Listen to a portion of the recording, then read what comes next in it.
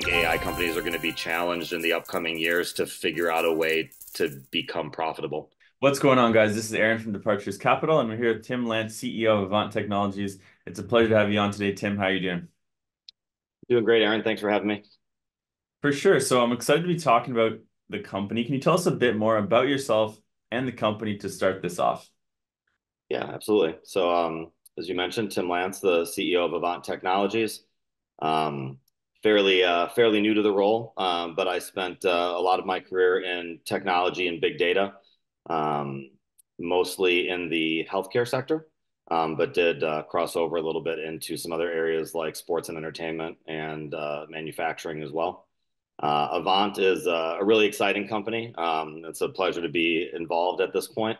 Um, the uh, company was one of the first to market back in the uh, kind of 2015, 2016 timeframe with a uh, generative AI similar to uh, you know a Chat GPT. And uh, as we kind of went on our AI journey, we noticed that there were a lot of headwinds facing AI companies. Um, and uh, in my prior roles, I've experienced a lot of those headwinds personally. And so the company, as we've grown, has chosen to shift away a little bit from kind of, you know, market-facing AI and really focus on delivering a best-in-class turnkey infrastructure to help companies that are running AI or building AI or doing, you know, large data analytics, large data transactional processing, be able to run their businesses more efficiently, more effectively, and with a better environmental footprint.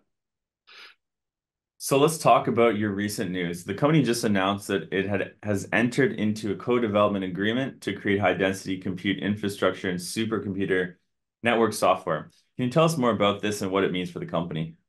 Absolutely. Yeah, we're very excited about the partnership with Wired for Tech. Um, you know, as we've again kind of gone on our AI journey and, decided to move more into the infrastructure side of life, um, you know, that comes with obviously a lot of innovation, a lot of research and development.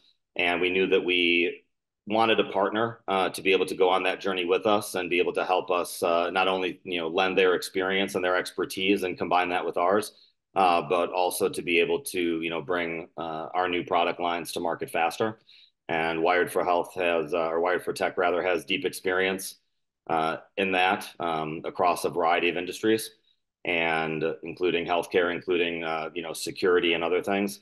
And so we thought they were a great partner, um, and they have that deep experience both on the infrastructure side in terms of you know hardware system design, uh, but also on the software development side. And so it was able to allow us to work with one partner and look holistically at you know our solution and where our product line is headed, uh, and be able to consolidate some of that into a you know a single partnership for development. Sounds like a win-win. So innovation is often at the core of a successful tech company. Can you share how Avant Technology stays ahead of the curve in terms of technological advancements and innovation within your industry? Absolutely. Um, you know, I've always found that, you know, innovation really starts with a culture, right? Um, in my experience in my career, you know, no matter how much you're doing in technology, it all starts with people. And I think at our core, um, you know, Avant is a company that was born out of innovation. Um, so one of our co-founders, our technology co-founder, who's still with us, uh, Danny Rittman, uh, you know, was doing innovation work with Intel. He was doing then innovation work with uh, IBM as they were, you know, kind of building and developing Watson, which is probably, you know, arguably the most prolific AI uh, that has been around the longest uh, in large-scale commercial use. And so, you know, the company really started on his vision to build a, you know, better, smarter, uh, you know, learning AI. And we've kind of just continued on the trajectory for there and, and brought in people that are innovation oriented, um, both from a strategy as well as an execution standpoint. And, you know, even partners like Wired for Tech, right, really come from a deep place of, of innovation historically. And so, so I think it starts first of all with the people that we you know bring on and that we partner with and extend that to our company culture. And then from there i think it's really about you know understanding the market. Um, you know my son's a, a hockey player and uh, and i play a little bit myself. And wayne gretzky had a great quote you know years ago when somebody asked you know how he scores so many goals. He said i don't skate to where the puck is i skate to where i know the puck is headed and so, you know, we really invest heavily in understanding the market and looking not just, you know, over the next six to 12 months, but really looking at trends that go beyond that and make sure that we're you know adjusting our trajectory and uh, what we're doing from an innovation front into where we believe the puck is headed. That's great. So, you know, let's talk a little bit about the company's signature AI technology. So, Avant AI appears to be versatile with applications across various industries. Can you elaborate on how Avant AI is being utilized to address specific challenges or opportunities in different sectors? Yep, absolutely. Um, no, it's a great question, and I think um, you know one of the great things about Avant AI is that really it's where we started, and you know it's really what led us on on this journey that we've been on for the last couple of years. Um, initially, Avant AI was really focused more on kind of B two B use cases.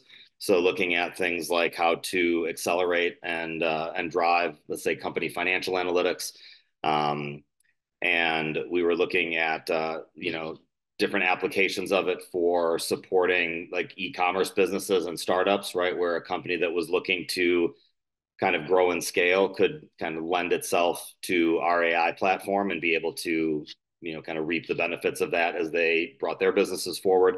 Um, when COVID hit, right, it, we shifted a little bit um, and actually did some work with Avant AI in the healthcare space, um, mostly around rapid training for diagnostics. Um, so, um, you know, that was a little bit more, I would say, of a business to consumer use case um, that we prototyped. And at one point, kind of during the peak of COVID, you know, we actually had almost a million uh, online users of Avant AI um, that were a lot of them geared towards trying to understand, you know, based on their symptoms, you know, what their diagnostic reporting was. Um, you know, today where we sit with Avant AI is we've kind of made the decision to pivot the company from commercially available AI into you know infrastructure on which everyone's AIs uh, can run. Uh, we've made the decision to continue to leverage Avant AI, but in a slightly different way. So we're using uh, Avant AI now and, and doing some development and refactoring work on it to help support improved data center operations um, within our infrastructure. So if you can imagine our infrastructure deployed in our data center and you know and, and someone else's data center or even on premise for a customer let's say maybe in a you know as part of a, a smart building uh, which is a growing trend in construction the ai would help automate and drive you know management of the infrastructure in terms of proactively looking at you know when an error is about to occur maybe when maintenance is about to occur or when a part is going to go down and be able to provide you know proactive mitigation strategies to keep uptime running and to kind of minimize maintenance costs. Um, and we're also doing some work with Avant AI now on the data security side. And if you're following the the news in terms of the biggest investors in building AIs, you know, CrowdStrike is is one of the big mm-hmm. AI players. Uh, I think they're in the top ten now in terms of their investment really geared around the information security front. And we believe that to have the best in class infrastructure, uh, we also need to have, you know, best in class security. And so that's another big application that we're uh, tailoring Avant AI for now is to help with that proactive security uh, with people that are using our, our infrastructure and our hardware. So the company aims to shape how we engage and implement AI technologies globally. Can you discuss the company's global expansion strategy and any challenges or opportunities encountered in introducing AI solutions to different regions and markets? Yeah, absolutely. Um, you know, I think from an AI standpoint, um, and you know, just as uh, kind of background, I mean, the last my last position before coming to Avant, I was the you know president and COO of a global technology company in the healthcare space, and we we used AI. Um, it was originally a European company, but we operated in kind of at our peak about 27 different countries around the world um, in several regions. Um, you know, I think AI is is not a U.S. phenomenon. AI is a global phenomenon. Um, and you know, where I really like the positioning of Avant from a global perspective is that the U.S. from a sort of regulatory standpoint, I think lags some other uh, regions of the world in terms of the fervor around data protection. Um, so if you go to Europe, you know, and you look at what they're done with GDPR and how you know GDPR continues to get more stringent, um, and you look at the you know structures of how they actually assess individual liability to CISOs for you know data security challenges. Um, I think outside of the U.S., there is a lot more demand for private cloud. I mean, there's a lot of demand for private cloud infrastructure in the US as well, private cloud as opposed to public, right? As opposed to AWS or Azure or Google Cloud. Um, and so we feel really strongly that there's a, you know going to be a great global expansion opportunity, and that the data security regulations in Europe, um, in the Middle East, and even in the APAC region actually support um, you know a really strong business case for for how we're building the company and how we're growing it.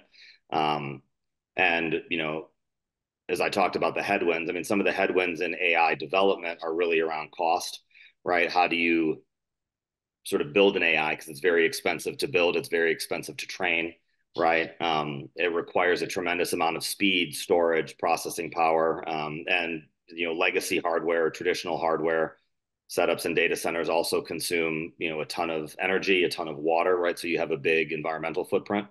So I think you know one of the things that we're really excited about is if we can provide a better, faster, more environmentally conscious, more cost effective solution on which to build and run AI and big data analytics.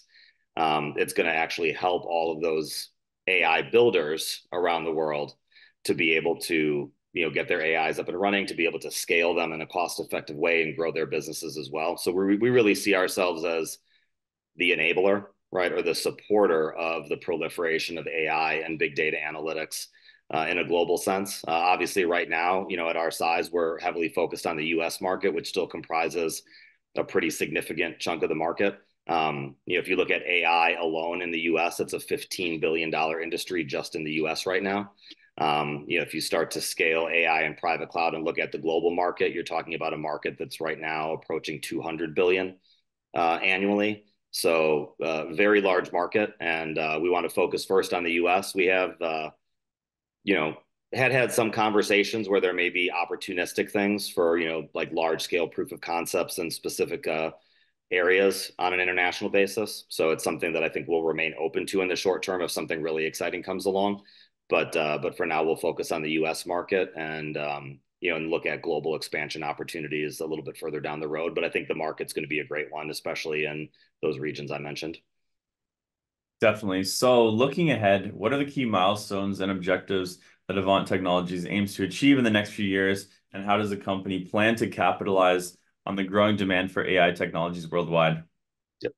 Yeah, uh, it's a great question. So, um, you know, short-term key milestones. Obviously, you know, we're you know we moving in a different, uh, slightly different direction from where we've been historically. Um, and so we've done an exciting uh, amount of development in you know recent months.